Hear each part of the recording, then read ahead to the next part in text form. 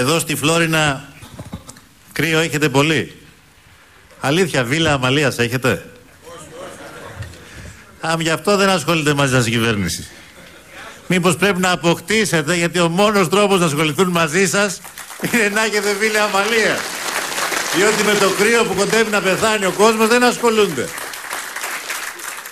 Αυτή όμως είναι η κοινική πραγματικότητα των κοινικών που μας κυβερνάνε.